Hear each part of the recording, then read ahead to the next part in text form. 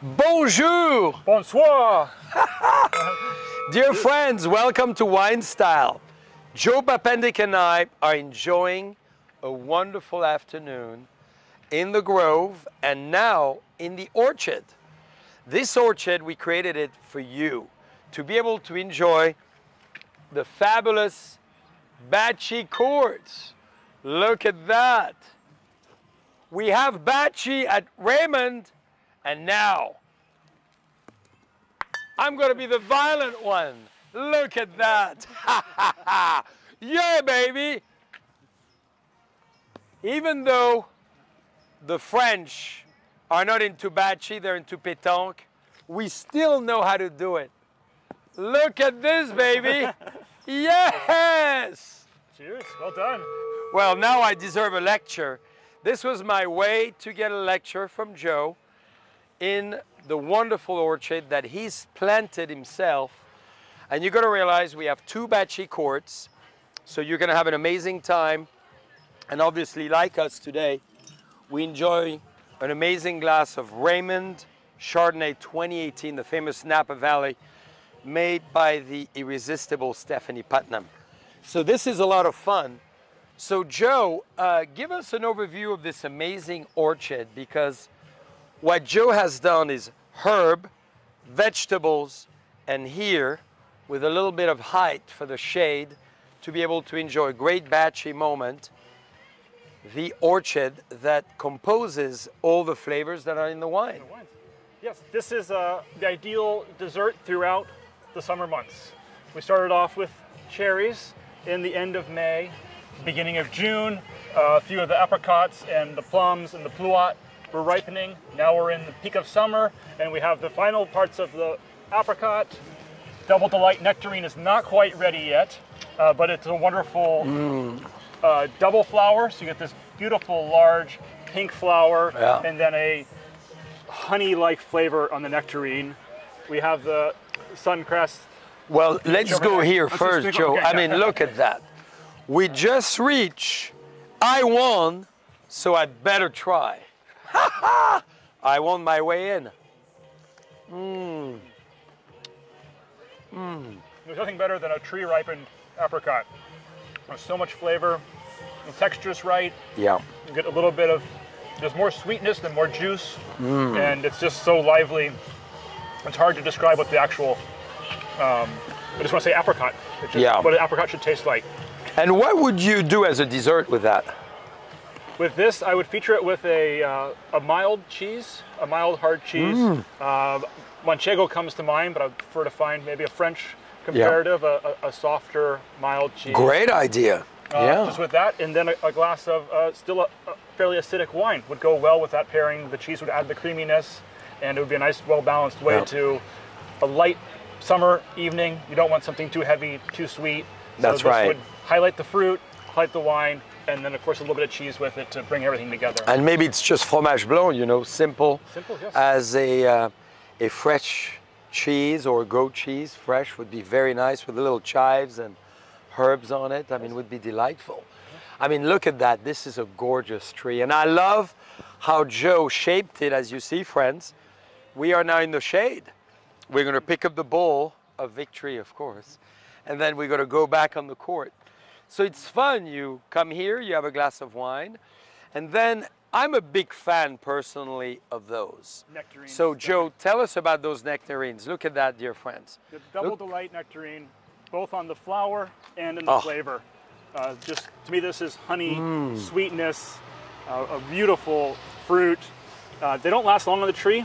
This is one that the minute they get ripe, we have to pick them all, quickly make into a puree, into a sorbet, Yeah. or even for a fruit cobbler or a fruit pie. Eating fresh is also a real highlight. I'm a huge fan of it. Same, how would you pair it with this? Pair it with the Chardonnay. Ah, see how the Chardonnay.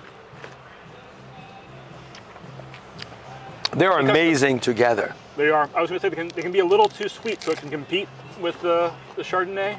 Um, but yeah, they are they are delicious. It's summertime. It's wonderful.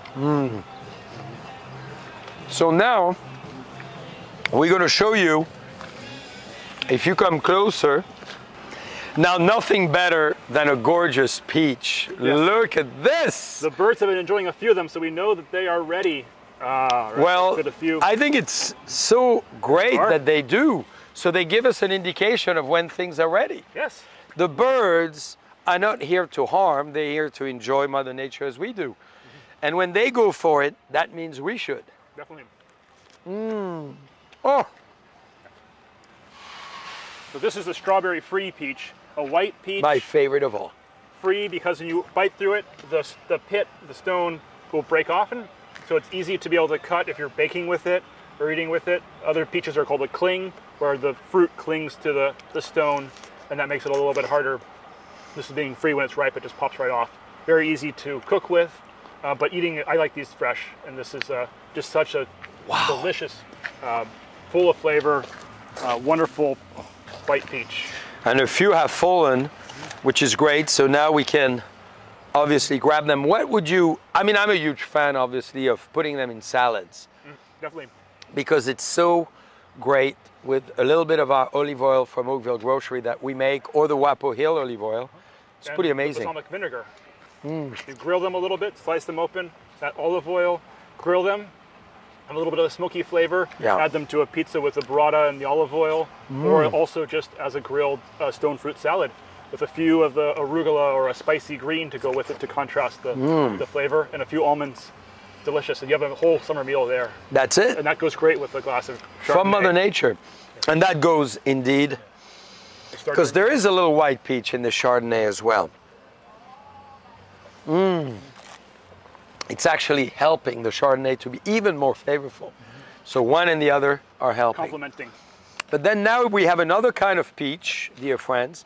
So always allow yourself to have multiple diverse type of fruit because they all different and unique and they all contribute like wine to a different part of, And they of the also evening. ripen throughout different times. These are very green still. These need another month before they'll be ready.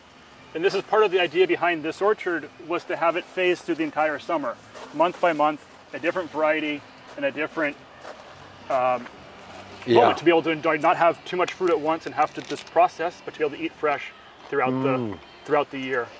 Um, and these need a little bit longer. Oh, how does it taste? What do you think? It's tasting great though. is? You know, I'm always impatient, so good it is. And I mean, the flavor profile is so phenomenal. And you see where it's going, and I love it because it's a very different flavor profile than this one. Definitely, and even when it comes to uh, making wine, we're always out there in the vineyard and you're tasting as the grapes evolve and change and what does it become, when is it ripening, and what is that moment of, of action? When do you take the time to, to harvest and pick, and when is it going to be in its peak? And you have to have to sample beforehand. And this one is the Suncrest peach. So give us the history of that one. So the Suncrest peach is almost extinct now in California. There's only a few growers who are growing it. It was very common in the 40s and 50s. Uh, the tree has some faults. Um, its branches break, it's too heavy, it doesn't ship well, it bruises, and you can't necessarily have it for a, a supermarket. Because if you're gonna ship it and it bruises, gets by the time it gets to the store, it's falling apart. But as a true old-timey flavor of what is a Wow. juicy, juicy peach, you sit out here in the orchard and eat this, and you're just running down with juice, and it's a divine moment uh, that you can't have anymore. With the goal to have supermarket quality, where it goes, it's still hard in the supermarket. It ripens a week later. This is something that has to ripen on the tree, and it's really a treat to what is what we've lost, unfortunately, with flavors because we've been growing things for transport and not for consumption off the tree or That's as right. nature had intended. which is so exciting, dear friends. You realize we are in the world of dessert. We're enjoying the bocce. We've had beautiful apricot. We've had Double delight nectarine, we've had the strawberry-free white peach, and the suncrest, wow. So four out of twelve magical trees. We have as well the pomegranate. Yes, we have two pomegranates. A white pomegranate, which is convenient because it doesn't stain when you are opening up and putting on a salad. Yeah. Of course, the wonderful is the name of the variety, the wonderful red pomegranate. And then we also have burgundy plum behind Yeah. that. We have another gold rush peach, uh, which is a, a newer variety and one that's done very well. Doesn't have uh, the disease of fire blight and curl. And then we also have apples, we have the Calville Blanc, a Yes. French apple. Yes. Over there. Gorgeous tree. The Pippin, the gold Cox Pippin, which is a classic English uh, dessert apple. We did our research, and of course, before we came to Raymond, the famous fig tree that many of you enjoy with a fantastic, you know, uh, cheese platter that we serve, or the marmalades, or you have it with uh, your cheeses. So it's quite amazing. We're having a lot of fun, as you can see. We're going to continue bocce. I know Joe wants to take his revenge. Before you know it, I'll be on my knees and losing, but I think he actually let me win that first round. But Joe, great to be together. Right my glass. Congratulations for, um, yeah, you want to get your glass. We got to do a toast. This great Chardonnay from Raymond Vineyards, fabulously barrel fermented by obviously our wonderful Stephanie Putnam. We've had so much fun here at Raymond, and it's so nice to be able to engage you in this incredible orchard. So when you come to Raymond, don't be shy. Take your glass, play bocce as we do, because that's what we're doing this afternoon, and have a great glass of wine, maybe a little cheese. You pick a fruit, you're welcome to do so. They're here for you. And have a dream, the Napa Valley lifestyle.